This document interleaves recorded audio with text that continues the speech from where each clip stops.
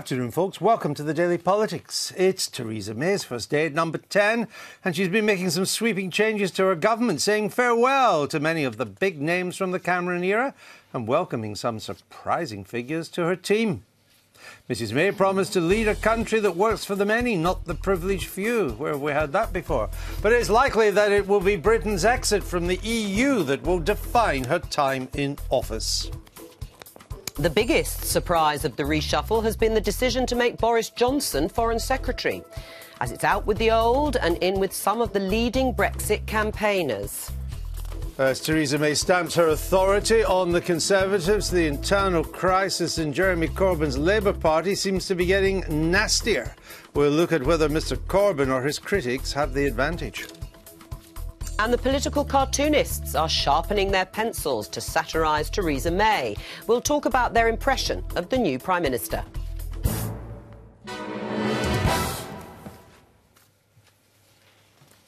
So all that in the next hour, and with us for the duration, former Conservative Minister Francis Maude. He's now a member of the House of Lords. He's seen plenty of reshuffles in his time, but we're glad he hasn't been recalled to high office, or he wouldn't be able to serve the viewing public on public service broadcasting's finest programme.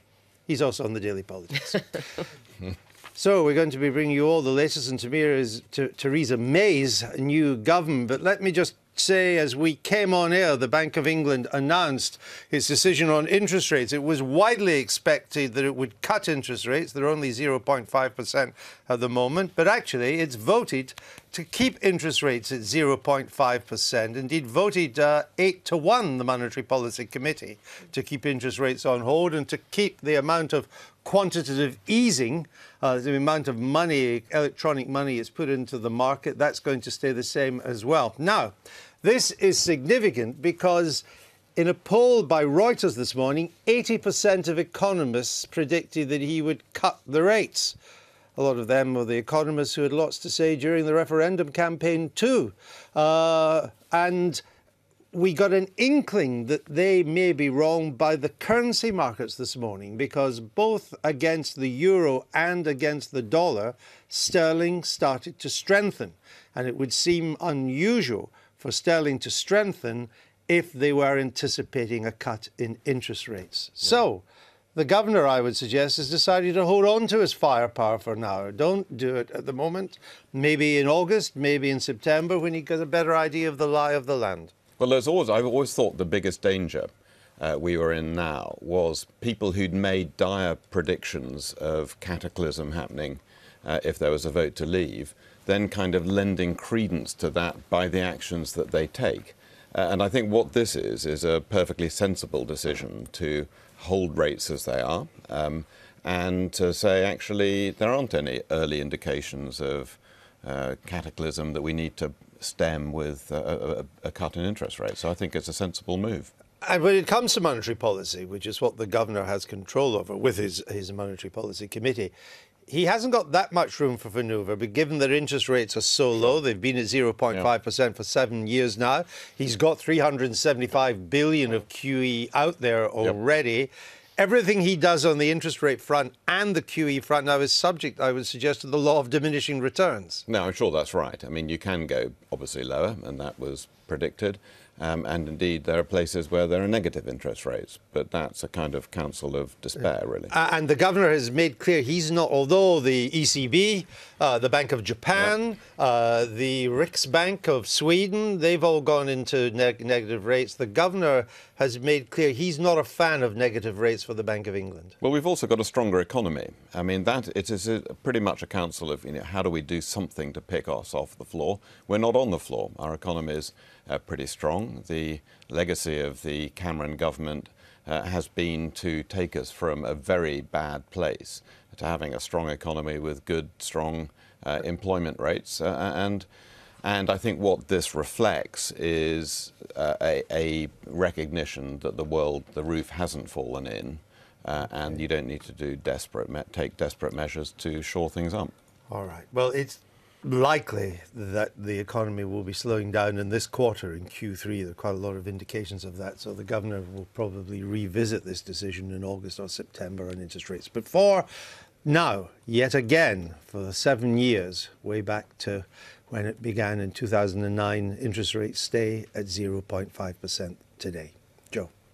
Yes, Let's turn back to the other big story of the day, and that's Theresa May's first full day as Prime Minister. After returning from the palace and arriving in Downing Street, Mrs May used her speech outside Number 10 to promise to tackle injustice, and she said she was determined to preserve the unity of the UK. Following the referendum, we face a time of great national change. And I know because we're Great Britain that we will rise to the challenge as we leave the European Union, we will forge a, forge a bold new positive role for ourselves in the world. And we will make Britain a country that works not for a privileged few, but for every one of us. That will be the mission of the government I lead. And together, we will build a better Britain. Well, that was Theresa May speaking yesterday. The reaction to that speech, Francis Maude, mm from various quarters says she's parked her tanks on Labour's lawn. Um, and that may well be the case, uh, looking at the Labour Party as it is at the moment. What was there in that speech, do you think, for what one might term true blue Tories? Um, well, I mean, I think uh, the Conservative Party at its best uh, does occupy the centre ground. Uh, and we, we have to be a party if we're going to succeed electorally that has an appeal to all parts of the country, geographically, socially, uh, by racial background, and so on. Uh, and so she's very much, in that sense, continuing in the uh, direction that David Cameron set and, and the direction he took, which made the Conservative Party electable again after a long period in opposition, where we lost three general elections in a row. So that's, that's really important. Uh, the thing I think there wasn't so much of in her speech, which is going to need to be addressed, I think, quite quickly, is uh, on the economic front because you know, there is no one uh, has ever suggested that a vote to leave the European Union uh, will not have uh, some short-term shock effect and down downside effect on the economy. And what I think people will want to hear uh, in the days and weeks ahead is some sense of how we're going to use the opportunity that comes from being not in the European Union to build a different kind of economy that is uh, even more buoyant and um, st strong than. Do you think that Philip Hammond, who was one of those who did warn of economic gloom and doom if the UK voted to leave the EU, then is the right person, combined with Theresa May, who you could argue isn't a, a, a sort of economic expert? No. Um, to then steer Britain through this short-term shock, as you put it? Well, I never felt that Philip was was his heart was terribly much in the Remain campaign. Um, I ah. mean, he's on the record as having said some time ago that if there were a vote, um, I think in about 2011, he said if there were a vote, he would vote against our membership. Um, and so I think his task is to see, to set out uh, creatively, imaginatively, what the opportunities are and what how government policy will uh, help that. Right. And we need, and, and, the key things I think people will want to hear uh, is that there is a very strong commitment by the government to London being an incredibly competitive financial, international financial centre, and that's about a regulatory regime, it's about a tax regime uh, that makes people want to do business from London. All right, well, that's the sort of economic side of it. Let's look at style just briefly and broadly. She's been quite uh, bold, you might say, Theresa May. It's a fairly dramatic reshuffle. A lot of ministerial corpses abound. Yeah, and I think it looks a bit personal, uh, to be honest. Um, I completely understand the desire of a new Prime Minister to sweep away some of the kind of um, characters who formed the essence of the Cameron government. Uh, I think she shouldn't forget that those were people also who got the Conservative Party into a place where it could uh, get back into government. Um, and so I, I, particularly regret the loss of Michael Gove. He's um, you know, a powerful reform, powerful intellect. He's brave and clever and, and principled and a really effective reformer. And All I think to lose him... You think it was a mistake? On, I think it was a mistake, yes. All right. We'll leave it there for the moment. Okay, sterling holding steady against the euro at 119 against the dollar it's just over 132 in the wake of no increase in the uh, in, cut in the interest rates looks like the currency markets anticipated unlike many others in the city that there wouldn't be a cut So Theresa May defied those who thought this could be something of a continuity reshuffle. Instead, we've seen the sacking of some big figures from David Cameron's government, including George Osborne, Michael Gove, and Nicky Hunt. Uh, Nicky Morgan, sorry. Jeremy Hunt, we're still not sure. He's been removed from health, but we don't know yet if he's got another job.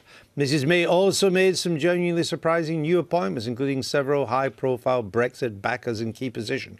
And of course, in the biggest shock of the last 24 hours, or at least the last 12, Boris Johnson as Foreign Secretary. Joko's got the latest. Yes, so who is in Theresa's gang? Well, yesterday we heard Philip Hammond had taken the keys to number 11 as Chancellor, and Boris Johnson was the first big surprise being appointed Foreign Secretary. While Amber Rudd moves into Theresa May's old job at the Home Office. Mrs May has kept her promise to appoint a Eurosceptic to be in charge of negotiations with Brussels on leaving the EU. David Davis takes that plum role, and his Eurosceptic comrade, Liam Fox has taken on another newly created position. Secretary of State for International Trade, while Michael Fallon keeps his role as Defence Secretary. However, it's not all good news. George Osborne, Michael Gove, Nicky Morgan, and John Whittingdale have all been kicked out of the gang. Finally, just before we came on air, we also learnt that Liz Truss has been appointed Justice Secretary and Justine Greening will be the new Education Secretary. We saw that just before we went on air. We did indeed, uh, Joko. So uh, the fact that uh, Liz Truss has gone to the Justice uh, Department and also Amber Rudd to the Home Office yes. means that some were speculating. Miss, Mrs. May never liked the, the division between Justice and Home. Uh, when she was in the Home Office, and there was some talk that she may bring the two departments together again, but she hasn't kept them separate, and instead she's uh, put a woman in charge of each. And also on the Department of Education, the Department of Education will take on higher and further education skills uh. and apprenticeships, bringing together. So there is a comprehensive end to that view of separating skills and, and education. If you remember, that was, I think, changed under Gordon Brown's time. And given that we're having a separate department for trade deals now, um, we can see what's left of it. It looks like it looks to me like the business department and uh, the Department of Energy and climate change are now going to be merged mm. together. And since a lot of businesses worried about British energy policy, that may be no bad thing to have them both under one roof. We're joined now by Tom Newton Dunn from The Sun, Isabel Oakeshott from The Mail. They've both seen their fair share of reshuffles, sometimes in Fleet Street as well as the Cabinet. uh, let me put a point to you on this. Uh, Mrs May's reshuffle to date. The Notting Hill set boom. Mm. Absolutely dead. And you know what is extraordinary is this cabal of people who were at university together, socialised together. They're used to either being in the ascendancy or actually running the country. And, you know, talking to some of these people, there's a kind of shocked devastation that somehow or other they're not in charge anymore. and a lot of them have actually fallen out with each other. So it's really had an incredibly traumatic impact on their lives. Poor poppets. Shall I do that again? what? Notting Hill set. Boom. What's your take? I, would agree. It is uh, quite astonishingly brutal. I, I think we knew Theresa May was going to come in. She's her own woman. She was going to stamp her own authority on that. But to chop off so many heads while she was doing it is uh, is amazing. And someone said last night is very much uh, pour encourager les autres. So this is her now saying, uh. "This is my government you step out of line and uh, you will be going back to the back benches, and that is that. But I think there's something else that's going on here as well, actually. If you look at the lineup, uh, someone said rather rudely that it's the grown-ups are now back in charge. You know, the older generation of, of the Tory party, where they're leavers, remainers, modernisers, whatever, it's the older guard. Uh, and the second thing is, actually, it's quite a defensive reshuffle. So Theresa May has very carefully, I think, put a whole load of people in position to create a buffer between her and some massive areas of trouble, such as mm-hmm. Philip Hammond in the Treasury. Now, he is Mr. Doom and Gloom, box office Phil, as uh, he's known as. Uh, the man who's going to do the cuts and, and, the horrible stuff, protects her from some of the bad news. Uh, you know, David Davis, Liam Fox running Brexit. If Brexit goes wrong, well, you're the people that wanted it. It's going oh, to be But that's only fair. They are the, the ones. We're just learning that Jeremy Hunt is now expected to stay in his post at the Wow. Department of Health. Wow. Uh, and that number 10 is going to confirm that shortly. I mean, online and uh, on the social media, everyone's saying that Mr. Hunt had been fired from the Department of Health. Uh, and or, or fired, sacked from the cabinet. Then it reined back a little bit, saying, "Oh well, he's he's not doing health, but he may get another cabinet job." Now we're being told he's probably still at the Department of Health. Now, Tom says, uh, "Pour encourager les autres." Which is a pretty good phrase to use because it is Bastille Day today. And this is Mrs. May's Bastille Day. And is it not the case that if you're a new Prime Minister, you've also won in the mi- not in the middle, but during the parliamentary term, you've not won a general election leading your party, that you do want to stamp your mark, to, to, to tell everybody this is a new government?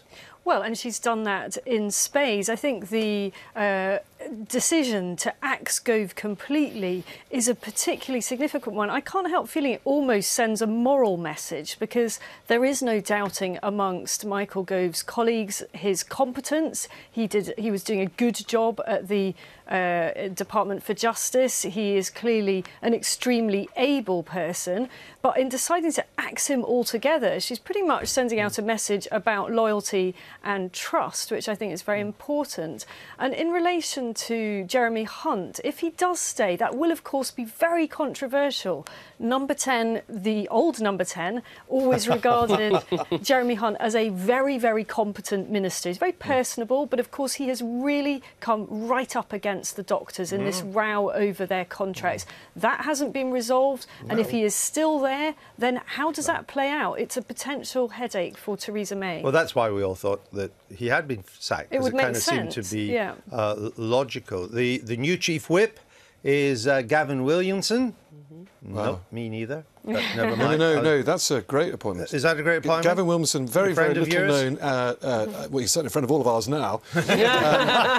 Oh, you're not in Parliament. Uh, no, the No, he is. He's. Uh, we have to. We have to. We, we, we live live in with them. Parliament because Yeah. these people allow us to. So just give us a word on whip. Gavin Williamson Gavin then? Williamson was uh, David Cameron's PPS, bag Okay. carrier, parliamentary private secretary, Very and a very, popular, very, isn't very popular, Yeah. Popular? very Okay. effective one, loved by the Tory backbenches, Okay. and also knows where all the bodies are. Well, I now know who Gavin Williamson is, and so do you. Welcome. Uh, one of the most controversial, and if you're watching Mr. Williamson, of course you can't come on TV. You're the chief whip. You've got to stay anonymous.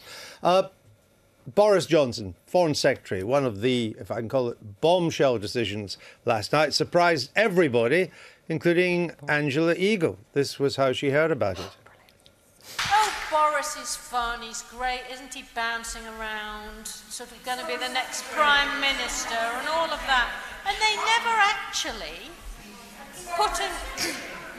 They've just made him foreign secretary.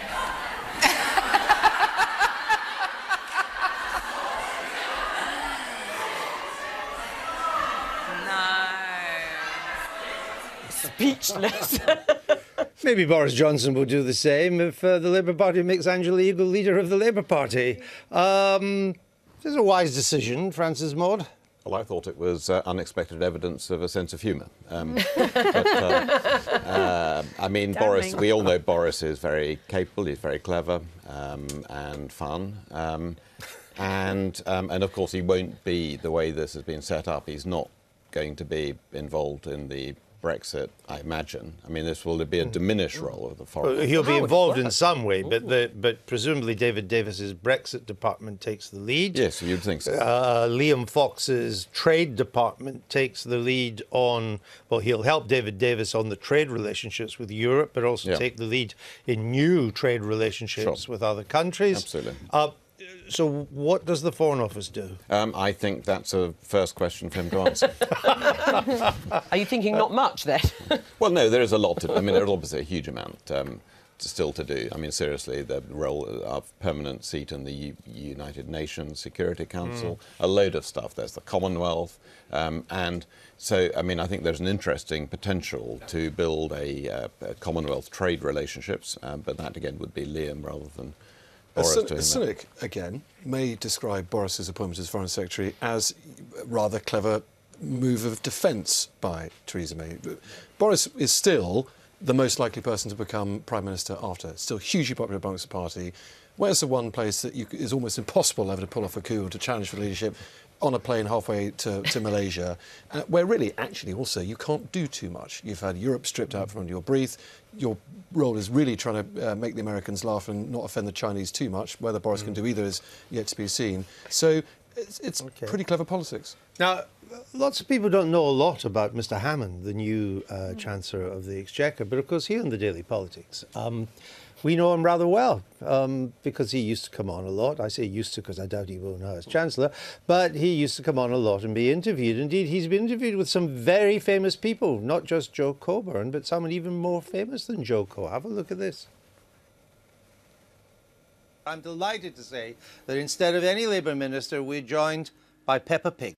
I don't think any party has identified in detail how they will reduce public spending uh, over the course of the coming Parliament. The question to the Labour Party, to Peppa, if I may, is you have all the civil servants, you have all the data, you're sitting on all the contracts, you know all the forward commitments. Why have you not published a comprehensive spending review? My understanding is that Peppa Big Pig is to be made Chief Secretary to the Treasury uh, under Mr. Hammond. Now, here's the thing. Obviously, safe pair of hands, accountancy, business background. He understands the figure. I think figures. I think he was shadow chief secretary at one He stage was, he was, in, yeah. in the Treasury. But there's been, but there's been a lot conservative with a small c. But there's been a lot of talk from the May camp and from other parts of the Conservative Party of of ending fiscal austerity, of hmm? building up a big infrastructure fund, borrowing at nearly zero percent, of more imaginative things, of, of really creating a northern powerhouse hmm. that joins South Yorkshire with Lancashire, which would mean that HS2 is not so important as state of the art communications east and west. Is Mr. Hammond the man for that? Well, I know you find it quite hard to put Phil Hammond and imaginative in the same bracket, but actually, the thing I'd like to say about Big Phil, as we know him office at Phil. Westminster, is he is actually quite different from his public persona. This is uh, not only somebody very competent, but somebody very personable. I think that he will. Uh, undoubtedly do a very good job. And I think the first hints that George Osborne was doomed came when Theresa May was giving us all that rhetoric about changing policy Oh, yes. on, on austerity. At that point, that it was was it. clear that Osborne was out. So I have actually quite high hopes for Big Phil. I don't know about you, Tom. Uh, I think he's highly competent with numbers. Remember, he went into the MOD and, and sorted out a 38 yeah. billion pound deficit there uh, very successfully. He, he, he really is lacking on uh, emotional intelligence, and I think the problem with him. He him, just doesn't although show it to you, Tom. He isn't. He is, you're, you're special, I am. obviously, shows, obviously shows it to Isabel. Well, it's- she's a lucky girl. Uh, the, Well, the- she'll be the judge to, of that. He has to, you know, if he's going to deliver this Theresa May One Nation Healing Society policy agenda, Hmm? you, you really do need a little bit of uh, empathy about him standing in the dispatch box uh, and delivering austerity budget after austerity budget, if indeed Mark Carney. But that, the idea is not to do austerity budgets. The, it was the cha- former chancellor who wanted to do the punishment budget, uh, and he'd not survived that. My understanding is it was so unpopular among Tory MPs that Mrs May felt she couldn't continue with him as chancellor, which was just not on the cards, and also it was kind of economically uh, It was a- ridiculous. and it as was an absurd thing for him to, To- to, to threaten. done. And, and he Is he over? Is it over, or you, can he bounce back at some stage? Well, people, careers are never over till they're over, and he's he's young still. He's in his mid forties. He is indeed. and uh, and he's very talented. He's very able. Um, so, uh, I mean, my favourite Philip Hammond story is uh, a senior military person told me um, a week into Philip's t- tenure as Defence Secretary. He said they'd gone in with the normal kind of slide deck and um, PowerPoint presentation, and he said, "Next time, can I have a spreadsheet, please?" Ah, that's the accountant. Oh dear, thought- it's about. that's, my, that's my kind of guy. I thought it might be. Isabel? Tom, we'll leave you to get on. Plenty to write about today. Right, well, let's talk a little bit more about the comings and goings at number 10 and go over to Downing Street, where Norman Smith, there he is, our man outside number 10 and 11, it seems. Give us the latest.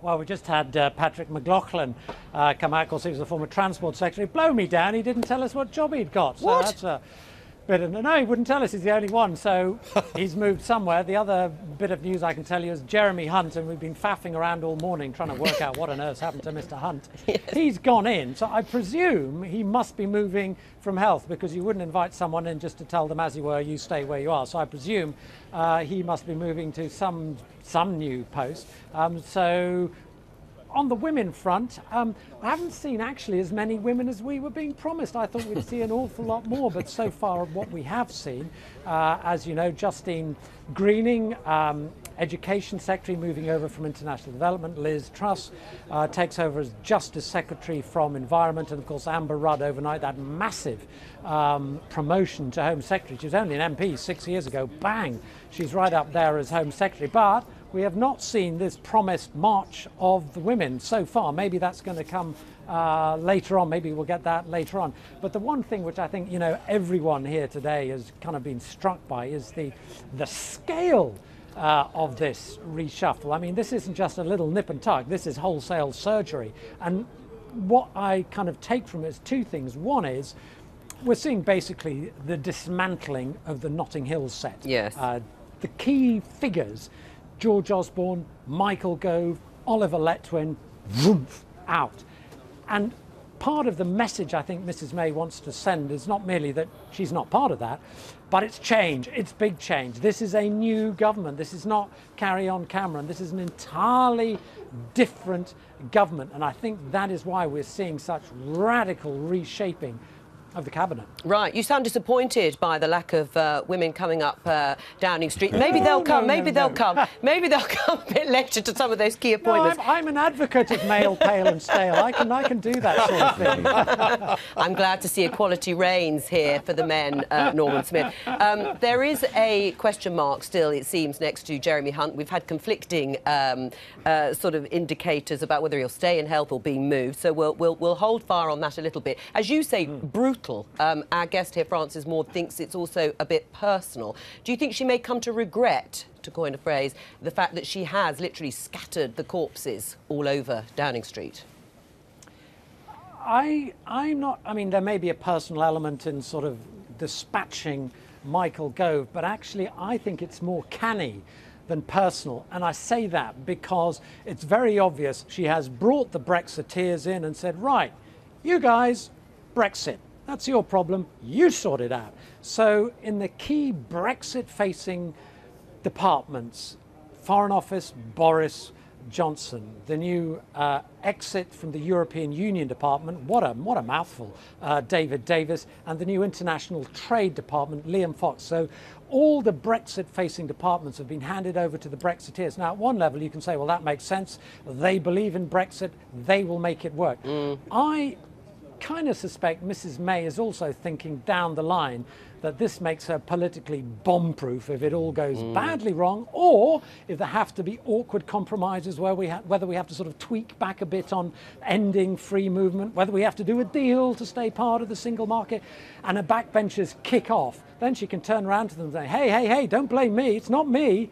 It's your guys, it's mm. your Brexit people who've done this deal. So I think it's actually quite a canny move. Yes, well, it'll be interesting to see how that actually pans out. And just to tell you, Patrick McLoughlin, who you mentioned at the beginning, has been moved from transport to Tory party chairman. Uh, okay, okay. So well, that creates a, a, vacancy in the. yeah, now that's interesting because, of course, the great question mark is what happens to Heathrow and yes. whoever gets the transport job, people will be going through their CV to see whether they have ever said, suggested, muttered anything at all about Gatwick or Heathrow, because okay. that will be, you know, the big decision. All right, we'll leave you to keep your eyes trained on those two doors. Means that the uh, chairman of the uh, Conservative uh, Stephen Party. Crabb's just walking. Uh, Stephen oh, Crabb's just walking in, guys. Oh, has he? There we go. Okay. Mr. Crabb. Yeah, yeah, well, we'll Stephen come back Crabb's to you. We'll come back to you, Norman, if there are any more so, significant developments. But thank you. So the current the new chairman of the Conservative Party is a former coal miner. Yes, which indeed, is Derbyshire. maybe plays to Mrs May's themes. Have we mentioned Justine Greening? That she's got education. We've we have. That? Yes, Good, we've I, mentioned Justine Greening. I think we're I'll up to, date. Up. And, uh, and Boris Johnson has already called Secretary of State Kerry uh, in the United States. That's his first call. I think that would. And uh, of course, Theresa May's first call was to Angela Merkel. Angela Merkel, indeed. Right. Well. Let's move from, well, David Cameron told MPs yesterday that his party had managed resignation nomination, competition, and coronation, all before Labour had decided the rules for choosing its next leader. Well, today the party is confirming those rules, but the contest is anything but straightforward and looks increasingly angry. Here's Mark Lobel. It was a very difficult meeting. Um, it was highly emotionally charged. Um, there was a, a, number of colleagues were very, very upset during the meeting, including myself, um, and there were there were a number of threats made. There are a number of votes that were obviously um, crucial in determining the future uh, of the Labour Party. Jeremy Corbyn emerged from Tuesday's fractious marathon emergency session of Labour's governing body after a torrid two weeks. Having suffered a vote of no confidence by fellow MPs and facing a leadership challenge, a vote on whether he could automatically stand again went his way. I'm delighted to say the Labour Party National Executive has decided that an incumbent is automatically on the ballot paper, so I'm on the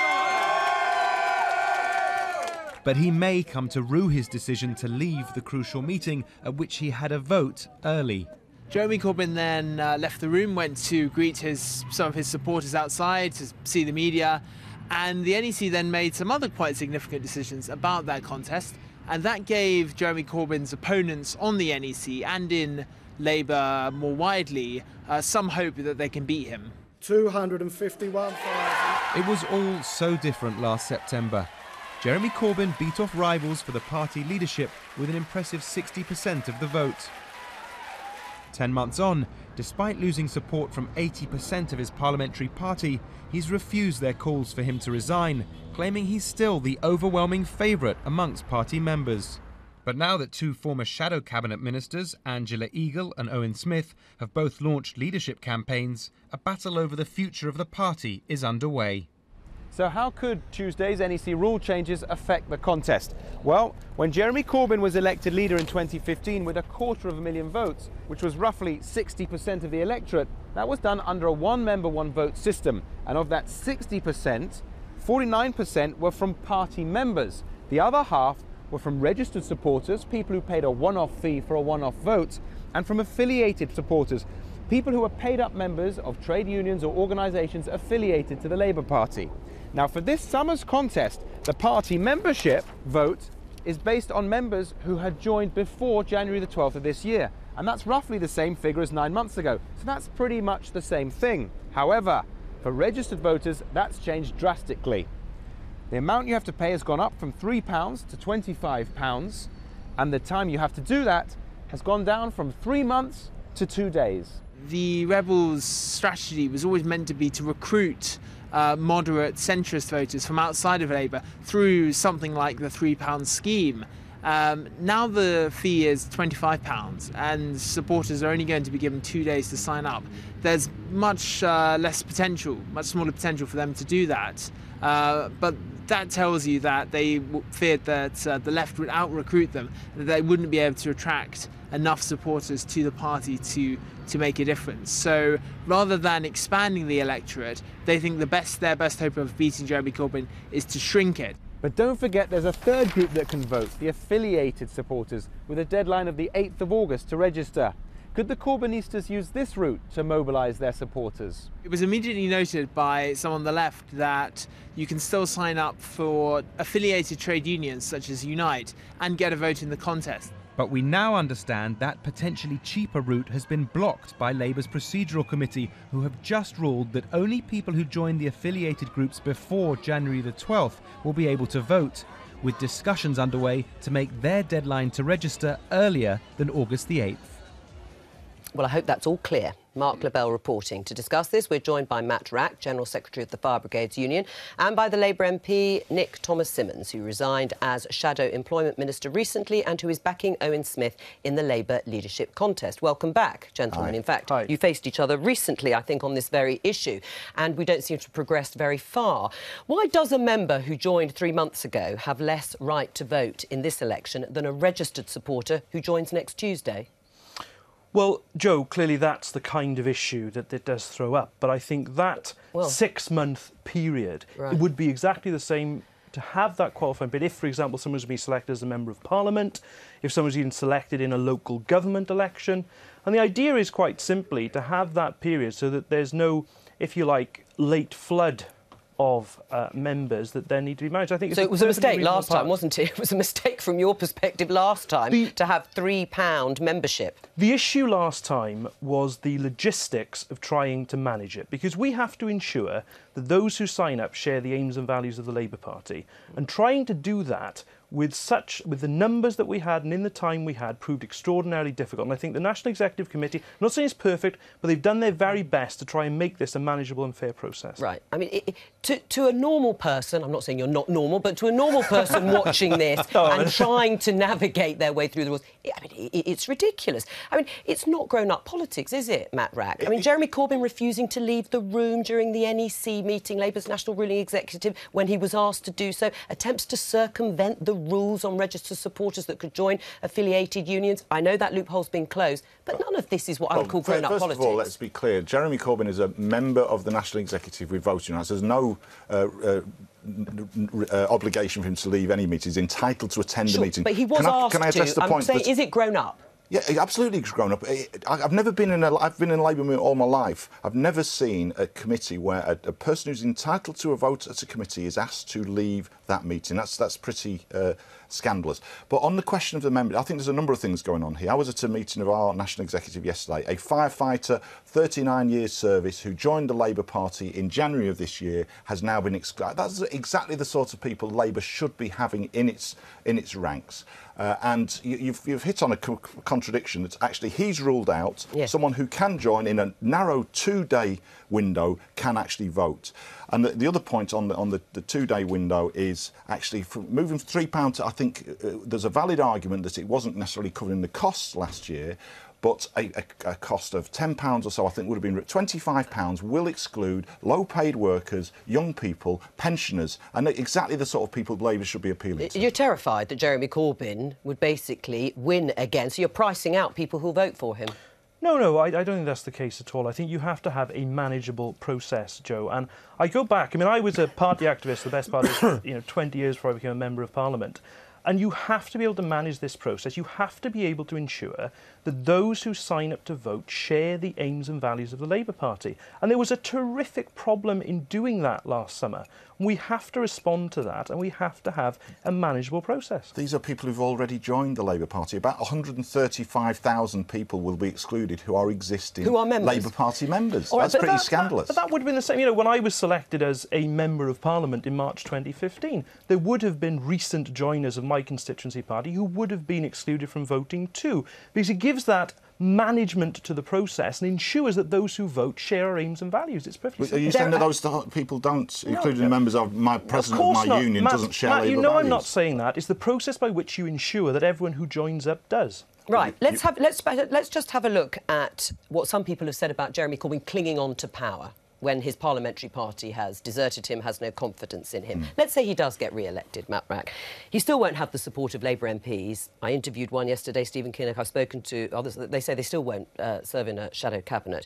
He won't be able to get his domestic agenda through. Let's just look at it in practical terms. He will be failing Labour supporters and Labour voters because there will continue to be no functioning opposition in Parliament, which is where his domestic agenda would be set out. Take the example of Trident on Monday. There'll be nothing that's put forward that represents Jeremy Corbyn's view on Monday. Clive Lewis, the Shadow Defence Secretary, has asked for a free vote. Well, I think that we're now entering a, process. I hope it will be a democratic debate no. about policies, and I would expect Labour MPs to comply and accept the decision the, of the Labour Party at the end of that process. Right, would urge, I'm sure that Nick will. I'm sure that uh, actually. No, they've said people, they won't. What people that's, are saying now, what people are saying now, and what they say after a contest, I think, may well be two different things. Right, answer the question, though, about the fact that, that at the moment there's no functioning opposition. Those policies of the Labour Party are not being put well, forward. that is very regrettable, and that's right. uh, clearly people have been coordinating this for a very long time, as we discussed the other week. Uh, some uh, Labour MPs, I think, no, not some, eighty percent have let. Well, I think there are some people who've been involved in planning this for a long time, and there are people who've been got caught up in it. I hope that people will listen. There's clearly a mood in the Labour Party that this ends. Constituency parties all over the country have been asking their MPs not to support the coup against Jeremy Corbyn.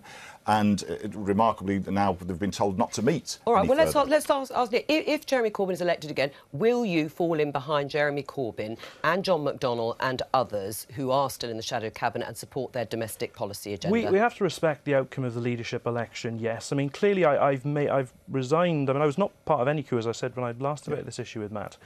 I resigned because there is this catastrophic loss of confidence in Jeremy's leadership, but I can, you know, support the Labour Party and our aims as a Member of Parliament in a variety of ways. And I will respect what the result is on the 24th September. Right, I mean... and that's welcome. And that is, that is welcome. That's where we want to be. All right, we'll have a debate. So who's and- going to win this contest now? Because clearly this is a sort of battle between two camps here trying to get as many of their supporters out. That's what it's turned into. Um, it, it's a leadership contest that is about who can get more of the supporters out and how many you can sign up in this two days in the end. So who do you think will win it? Well, what I can say is I had a meeting of our union's executive yesterday. There is great enthusiasm to support on the executive to support Jeremy Corbyn's campaign because of the policies that he stood for. He's stood by working people. He stands for workers' rights. He stands for public services, and those are the things that we want to hear from a Labour Party. And unfortunately, we haven't always heard it. Is support seeping away in the way that some MPs, like Stephen Kinnock, said yesterday? There are certainly people who've spoken to me who supported Jeremy last year who are telling me that they wouldn't do so now. But just to say one thing, Joe, I mean, you made the point about a race to sign people up. But actually, there are hundreds of, thousands of long standing Labour members out there too who will make a decision in this contest. It isn't just about people who join up, it's about a considered decision by our party members.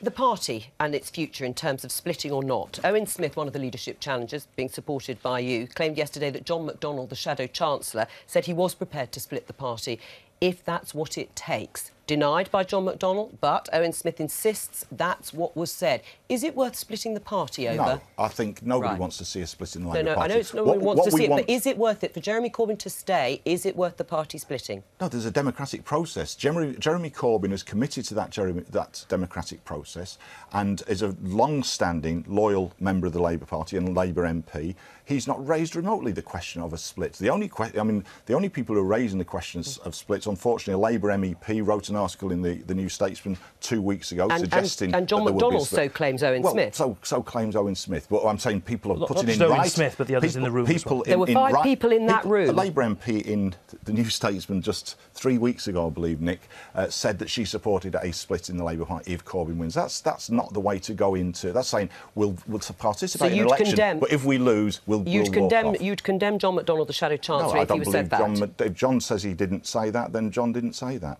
Uh, John, uh, John is very committed to the Labour Party. He's a, a long-standing Labour Party member and Labour MP. Thank you both. Thank you. News still coming in thick and fast. Uh, Theresa Villiers, the Northern Ireland Secretary, has resigned. Uh, she says in her resignation statement that the Prime Minister offered her uh, another role, doesn't specify what, we don't know yet, but it was not one that she felt she, she could take. So Theresa Villiers now out of the government. It's an interesting thought that it took Margaret Thatcher about four years to get a cabinet that she wanted. Theresa May looks like she's done it in 24 hours to get the kind of cabinet that she wants. And she's not just changing the cabinet, there are major changes, we think, underfoot in the structure of government. So the business department is currently constituted, looks like gone. Department of Energy and Climate Change looks like it's gone entirely. Oh. Transport looks like it's gone. And we understand now that there will be, or this is what we're being told, sources tell us uh, to the BBC, that the, there will be a new department of business, energy, and industry. So energy and climate change will move into a business department, which I would suggest means energy policy will change because it will be driven more by industry rather than by climate change as it was at, uh, at DECC. We also understand that there could be a new infrastructure department to be set up as well, which is probably, we think, where transport could end up. So, as you Interesting. can- they're very interesting. I mean, it's quite. Um, Well, that's very, these uh, are quite very major dramatic. changes there. In fact, I think more major changes. It was Ted Heath in 1970 that brought in major changes with an environment department and a trade and industry department that he created. And this is one of the biggest shake-ups in Whitehall uh, departments going way back to then. So, how do these white Whitehall departments then get organised now? Let's listen to two of the men heading two of the new departments. So, what are your priorities uh, in this role? Oh, we'll decide all those uh, collectively. And what, are you going to be prioritising access to the single market in this position? Uh, wait and see. Is Boris Johnson your boss now? Oh, I think we've got a wonderful uh, future as a country. I think we've got uh, tremendous opportunities to increase our global profile, um, and we uh, should be extraordinarily optimistic and confident And about what- the future.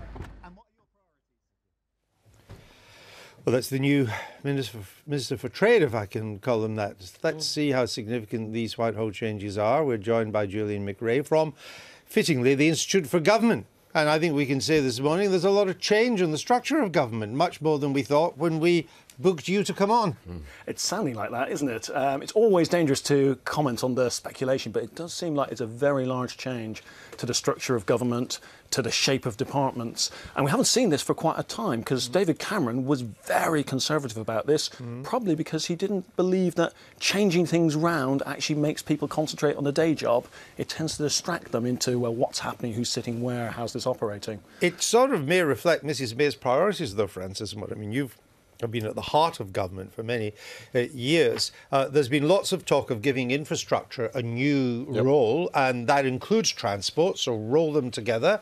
Uh, there's been a lot of talk, as you know, that energy policy was a bit of a mess, uh, almost as big a mess as it is in Germany at the moment. So align that more with the business department. It, it, I think these these are not changes just for the sake of changes, they? They reflect, I would suggest, the direction the May government wants to go. Yes, I mean, it sounds like that. Um, I mean, I'm always rather sceptical about Whitehall changes because they just cost a load of money and you move a lot of deck chairs around and New you end up, titles. uh, new, new titles, plaques. same people sitting at slightly different desks, and, and you know, it's always the theory is always to kind of create joined up government, but all you do is you move the boundaries to different places, and and you and you disrupt all the ways for people to work together across those boundaries. So it is very disruptive, um, and there can be benefits from it. I mean, the BIS department, which I was partly in over the last year, I think is a poorly led, not um, officially led department, um,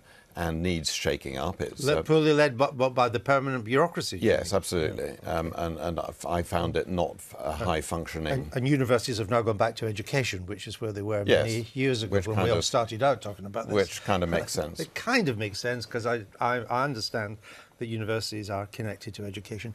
Um, we've got two new departments in a sense with specific roles one for trade deals, Liam Fox, one with the specific task of negotiating our withdrawal from the European Union. Where do they get the people for that? Well, at the moment, I mean, you're right at the heart of this. It's very easy to talk about new organisations in abstract and just set them up. Like, you know, Francis is exactly right. You know, actually, it's the same people that you're trying to organise into these spaces. At the moment, they're pulling in a lot of people from around Whitehall into particularly the Brexit department. Um, that um, will go on for the next few weeks. I mean, this, this is literally finding desks and making sure people have the you know, the internet connection or whatever. Um, as they get down to work, they may well base that around some of the infrastructure at the cabinet office, which can do a bit of that. Yeah. It's better than just setting up a whole new organisation. Trade is interesting. I mean, you know, there was a thought that maybe the Brexit minister would get trade as well and create a proper permanent department that could go on.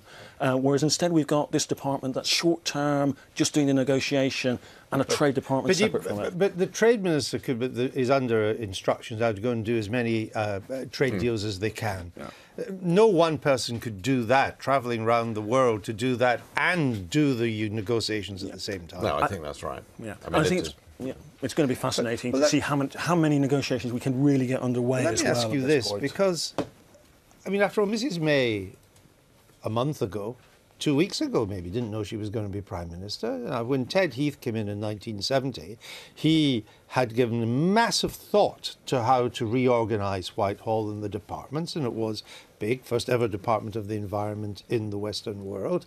Uh, even Tony Blair, Gordon Brown, they made sure they had thought about them, debated them privately, and yet here we have this major change. We have no evidence that Mrs May was ever thinking of any of this. Yeah, well, I mean, and also round elections, the opposition tends to talk to the civil service mm. very privately and give them warning of this. We put that in deliberately because actually this is hugely disruptive. This is mm. people who will be sitting at their desks thinking, where am I working? How do I, um, where am I going to be based next?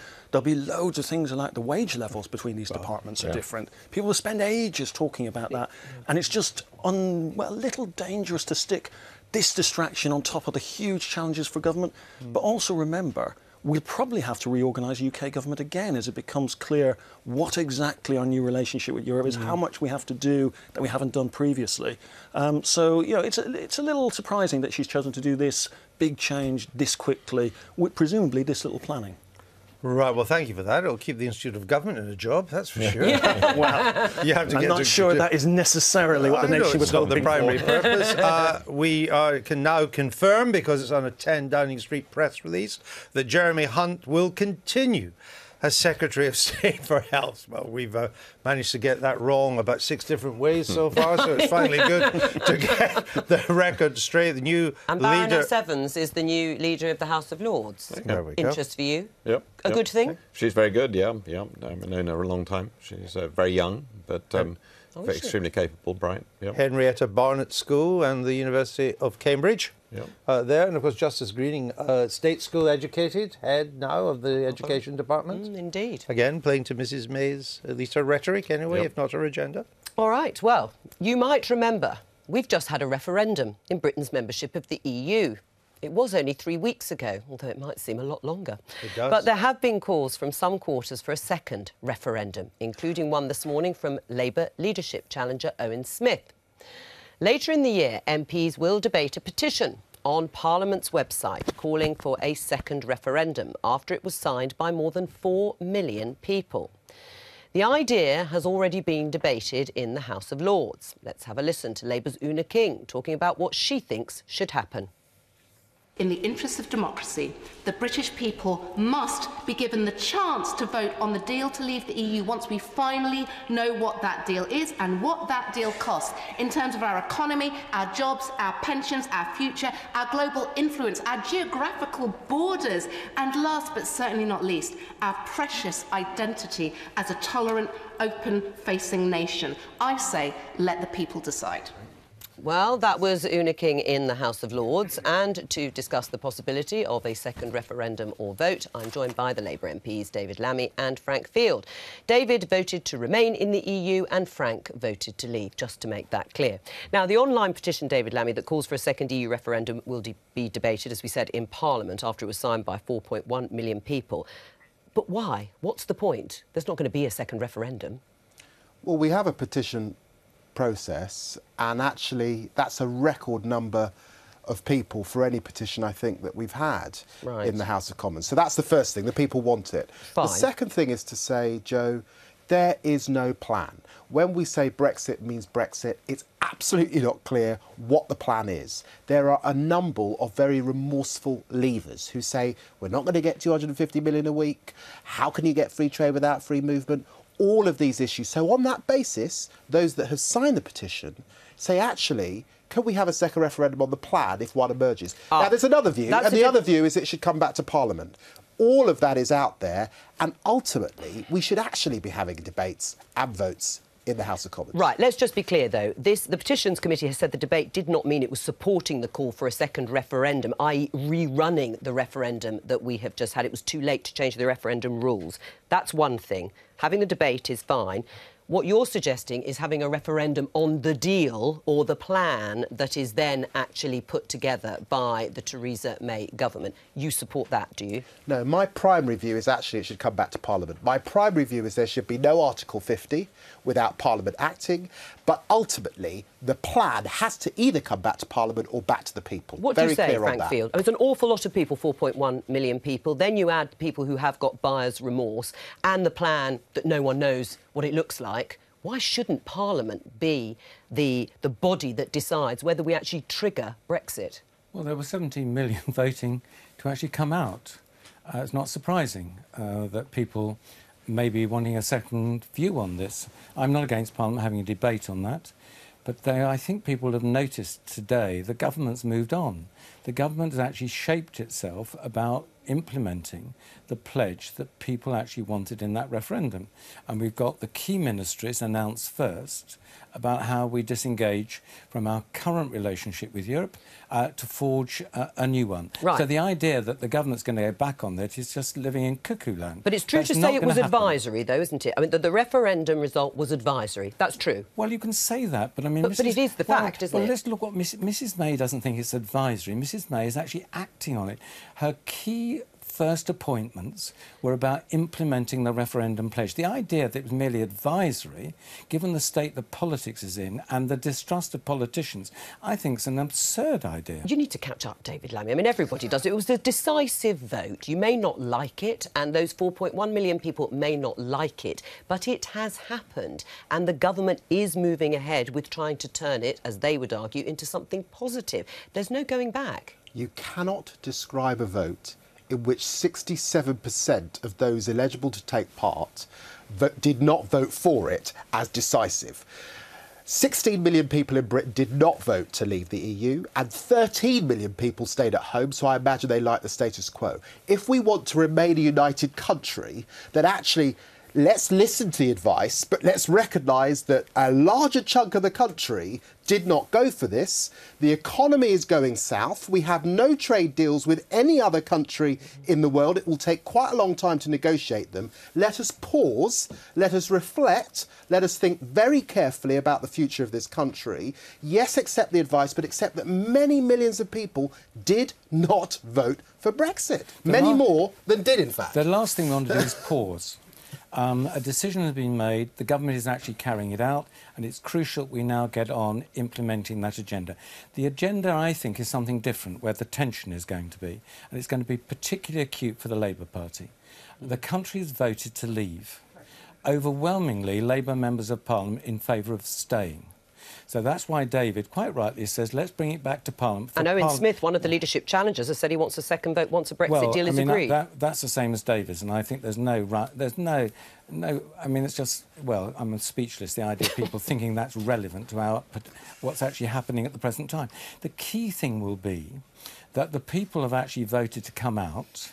And there is a majority in Parliament that actually wants to remain. The tension All right. will be how does the government manage the exit strategy? We've run out, we've run when- out when of time, majority- I'm we need, afraid, I'm but sorry, thank we you. need to go straight back over to Norman Smith to get an update on the cabinet reshuffle. Uh, Norman, uh, Jeremy Hunt to stay after all. Do we know what's been happening this morning? Did we just get it wrong, or has it been in and out? We don't, is the short answer. We got signs saying he was being sacked, then we got signs saying he was moving on of, his own volition. Then he turned up here, so you think he's been moving anyway, and then he comes out and he says he's staying where he is. So goodness knows what's going on. But one thing we do know is Theresa Villiers, she was offered another job and said, actually, no thanks, I'm leaving. Trying to work out what that might be. I wonder whether it is Justine Greening's old berth at international development and she just thought after Northern Ireland she did not want to be traipsing around the world. She wanted time back at base camp. Perhaps that might have been it. The other thing which I think interesting about uh, Theresa Villiers is from where I'm sitting, the male, pale, and stale guys are doing quite well because I'm not seeing a whole load of women coming in here uh, as we had been promised. Because by my counting, um, she's lost Nicky Morgan, the education secretary, and she's now lost Theresa Villiers. And I'm not seeing any new faces because Amber Rudd obviously was in cabinet, Justine Greening, uh, she was also in the cabinet, Liz Truss was also in the cabinet. So I can only presume that we are going to see a lot of women this afternoon if if Mrs May is going to meet her pledge to have a record number of women in this cabinet. Norman, we're going to leave it there, and we're going to leave you looking for the women. It's a, it's a kind of job that somebody has to do, and I think it's, it's a safe job in your hands. And we look forward to updates throughout the afternoon. Thank you. That's it for today. Uh, I'm sorry we didn't have time to bring you our cartoonist. uh, we simply ran out of time there. Cartoons are always fun, and we wanted to talk about how the cartoonists were going to depict Mrs. May, but we'll have Plenty of time to do that in the weeks and months ahead. The one o'clock news is starting over on BBC One. Now, there's no question time tonight, but there is a this week. I'll be back here at 11.45 on BBC Two with Alan Johnson, Michael Portillo, Alan Rosen, Miranda Green and Keris Matthews. And I'll be back again here tomorrow because we never stop working. Bye-bye. Bye.